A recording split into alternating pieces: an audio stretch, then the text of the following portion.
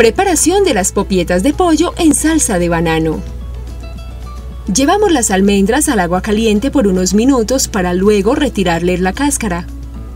Aparte, marinamos la carne de cerdo molida y reservamos. Salteamos la tocineta con un poco de harina de trigo para que tueste y reservamos. Luego procedemos a armar las popietas. Sobre la pechuga de pollo abierta esparcimos huevo batido, polvo de bizcocho, carne molida, almendras peladas, tocineta y pimentón. Luego enrollamos en papel aluminio, también en papel chicle y lo llevamos a cocinar en agua aromatizada con especias por unos minutos.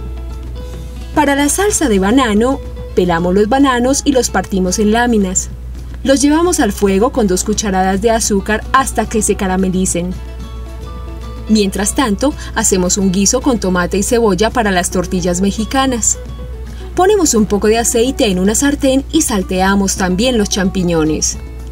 Volvemos a los bananos y agregamos la piña, un poco de brandy o ron, añadimos leche, crema de leche y dejamos cocinar por unos 8 minutos aproximadamente.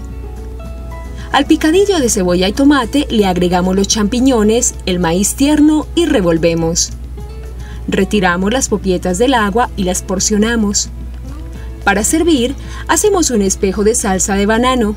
Ponemos las popietas y acompañamos con las tortillas mexicanas que van rellenas con el guiso del tomate, la cebolla, el maíz tierno y los champiñones.